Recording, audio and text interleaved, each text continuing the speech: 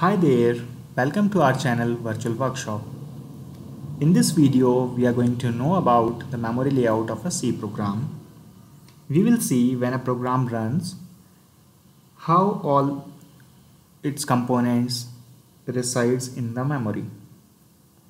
First of all, we will see what and all are the components of a program. A program consists of functions, caller or callee, local variables that are declared inside the functions, global variables, those are declared outside the functions, static variables, those are declared with the prefix static, and dynamic memory allocation. So let's see how these components resides in a memory when a program runs. This is a basic memory layout we are dealing here with the logical addresses. So we have a high memory address and low memory address. So one by one we will see how a program resides in a memory. So first we will see the code segment. In the code segment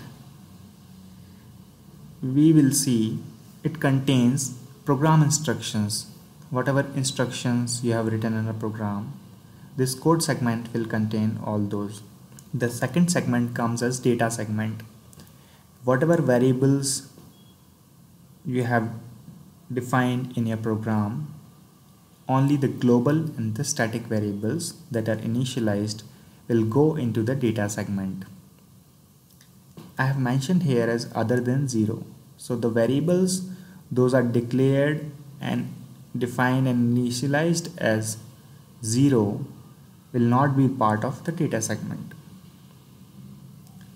Next comes the BSS segment. BSS means block started by symbol. So this is a segment where uninitialized global and static variables will reside. So the variables that you have not initialized will reside in the BSS segment. And the variables which have you have initialized with 0 that also will resides inside the BSS segment. Right? The uninitialized global and static variables will be initialized to 0 at the runtime. Now comes the heap. So heap is the part of memory which is utilized for dynamically allocated memory.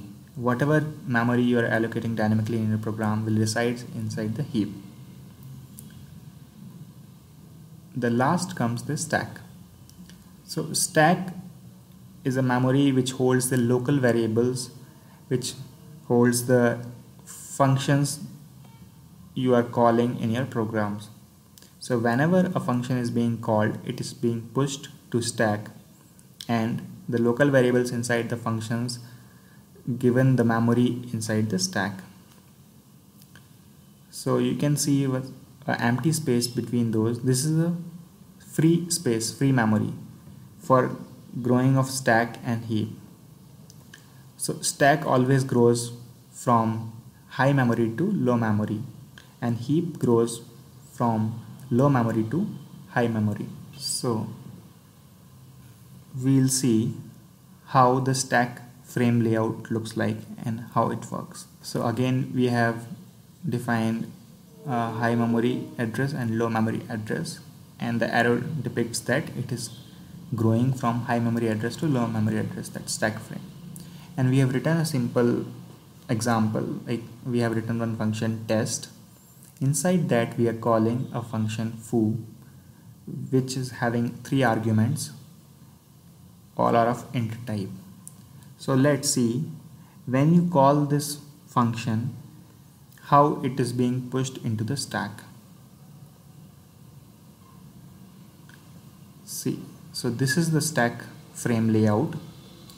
Whenever you call a function foo, it is being pushed into the stack as having a variable space for C that we have given a value 50 for B we have given a value 40 for A we have given a value 30 all of the three variables argument variables will be given a memory in the stack. Then comes your return address. Whenever a function returns it has to go back to the caller function. So that return address will be specified here where it has to go back. So basically it has to go back to the caller function. So that return address has been specified here now when you call that function the function definition will be there right? Function definition will be executed. So that also will be put inside the stack frame. The variables of that function will be put inside the stack frame. So this part will be taken care by the callee so here we can see local variable 1 local variable 2 local variable 3 all these things will be pushed into the stack like this. So this is how actual stack frame looks like. So this complete stack frame this complete stack frame will be pushed into the stack. And once the function call part is completed it will be popped out from the stack. Okay so that's all for this video. I have not done any practical session in this video because for that we need binary utils commands knowledge that will be running on the Linux platform. So that will be my upcoming video. There we will be doing analysis on the binaries that you have generated from the C program. For that subscribe to my channel so that you don't miss the upcoming videos and if you like this video please give it a thumbs up and please share with your friends. Till then happy learning